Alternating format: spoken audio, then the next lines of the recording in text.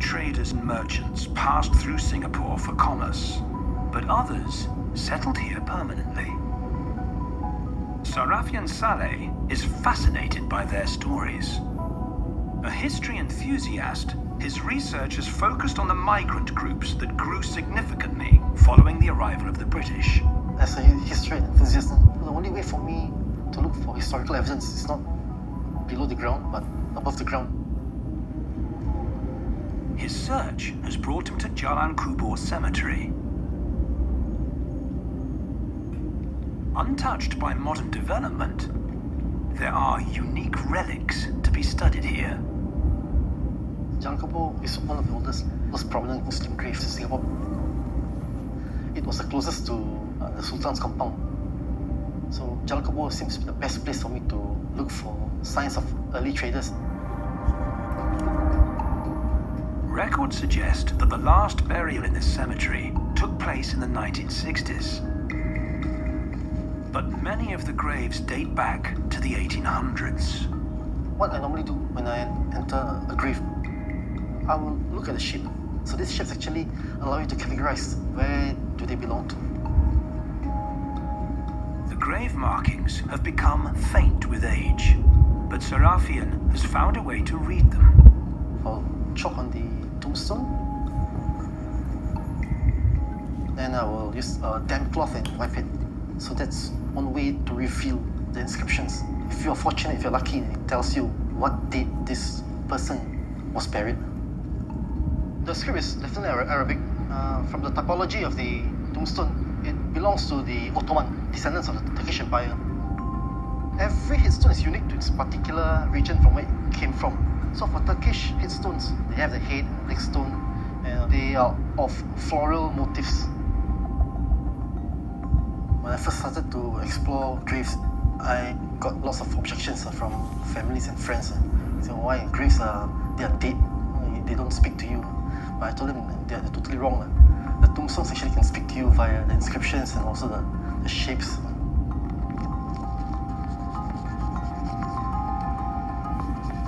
A Chinese grave, and what is found here after I've chopped it shows uh, Chinese characters, but I've yet to confirm which clan he belongs to. And when I chop on the other side here, okay, it's actually written in English. You can see the relief here. It's written in alphabets. There is a word affectionate here, and remembrance. Then uh, probably the name of who's buried here, Emma, E-M-M-A. And there is a figure here shows uh, 87. This person died in the year 1887. Exploring the graves has changed the way Sarafian looks at Singapore's history. What surprised me when I was in Jalan Kubur, it actually encompasses other ethnic community like the Ottoman, you have Chinese graves there, you have uh, Javanese, Bugis. Kampong Glam was an established entrepot where all the traders of different ethnic, eh, they came here to trade. They got married here and they died here. But the sad thing is, they are forgotten today.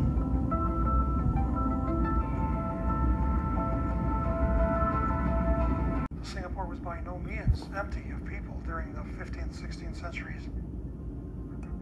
While artifacts from the 17th and 18th century remain elusive, several historical records suggest that Singapore continued to be inhabited. We haven't been able to find anything in Singapore yet for the period of the 17th, 18th century. But we do have a few sources, such as this map, and it shows Keppel Harbor. And it's got the date 1709, and it shows some houses. It suggests very strongly that there were people living on land at that time.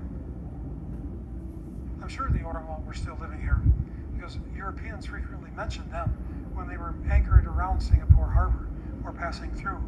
But then we haven't found any archaeological traces of them. Who were these Orang Laut, or Sea People? And what has happened to them since?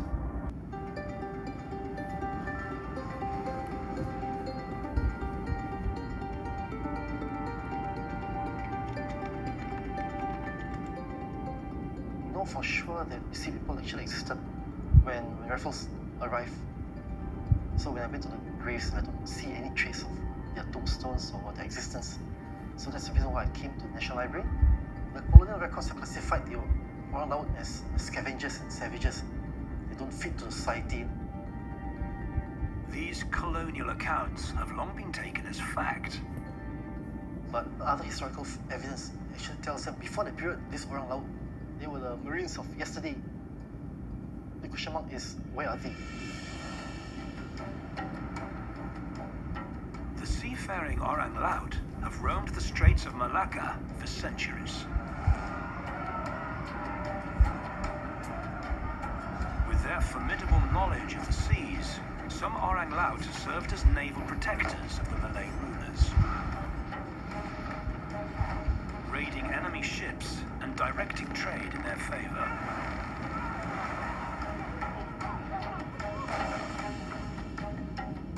Their prowess and skills were greatly valued by the Malay lords.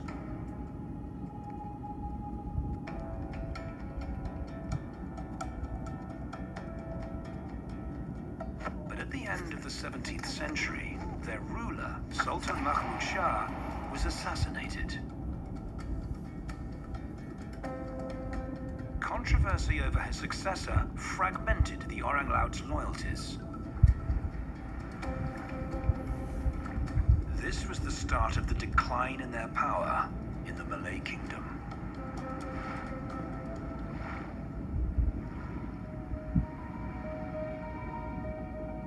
The Orang Laut belonged to distinct subgroups spread over many territories. Today, many no longer practice the nomadic lifestyle. Sarafian's research leads him to an Orang Laut community in Johor, Malaysia. A village named Kampong Sungai Temon. The Kampong's residents are part of an Orang Laut community that was once based along Singapore's northern coast. Pagi. Apa khabar?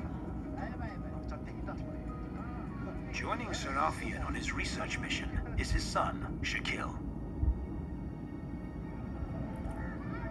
They're meeting the village chief to find out more about his people's history. Saya dapat tahu bahawa orang Seletar ni last dia orang datang ke sini selepas dia tinggalkan Singapura. Saya ada gambar kat sini. Nak tunjuk Tok Batin kalau Tok Batin kenal lah. Siapa dari mereka tapi dia ni daripada orang Seletar kat Singapura. Nah, ini ini ini Pak Tua ni. Pak Tua. Dia Dulu orang orang laut lah. uh, orang laut. Jadi mengenai keluarga Tok Batin, Tok Batin ni orang Seletar dari generasi ke mana? ni? Saya gener- generasi dah dekat sembilan. Jadi masih dia kat Seletar tu sepenuh masa tinggal kat Sekajang kan? Ini rumah. Ini sebenarnya buat pekajang. Dia makan di situ, tidur di situ, beranak pun di situ. Zaman ini mana ada pakai motor? Yalah, Pakai kayu. dayung ataupun layar mengkuang ni. Hmm. Layar pekajang ni. Ah, dia ikut arah angin ke mana pergi. Adakah kehidupan mereka sama dengan dulu uh, nak menangkap ikan, ada dia punya tan- tanaman sendiri ke? Sekarang dah moden. Sekarang dia orang ada ternak ikan, sebagainya. Dah ada niaga. Hmm. Nampak perubahan lah di situ. Mereka yang muda sekarang kan.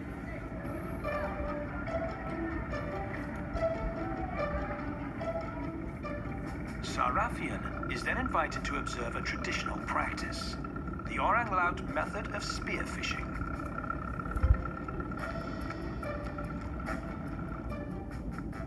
Berapa lama, berapa tua tradisi tangkap ikan secara memanah pada kelembing? Ni daripada temurun lah. Daripada nenek moyang lah. Daripada turun temurun lah. Sebab ni susah saya dah try. kalau kita tak biasa.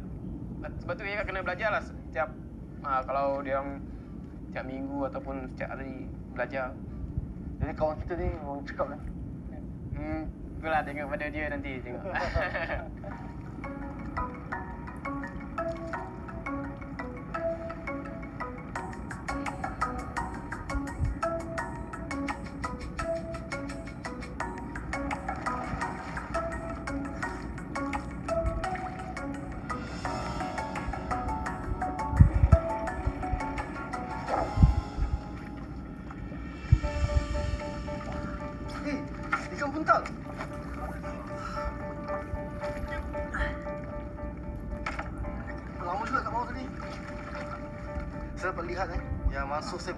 pakar dalam tangkap ikan dengan lembing kan. Tak ada sel, sel, uh, selagi belum dapat ikan tu selagi tu pun masuk dalam tak tak tarik. Tarik. Saya, saya kagum. What I've learned from my visit in Sungai Tamun is that di orang laut, they assimilate with the local communities, yet they still practice their old culture. They have their own way of life. They still maintain their language, what they've practiced hundreds of years ago.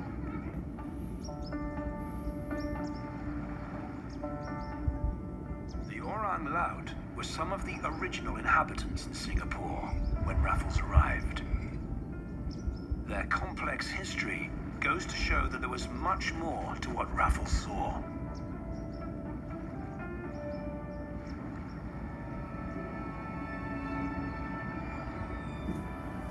these are the people that actually existed in Singapore. They have actually played a, a vital role in sculpturing the political landscape of our local waters. So I wonder to myself, will they still exist 200 years from now? I just hope that this culture will be preserved as time goes by.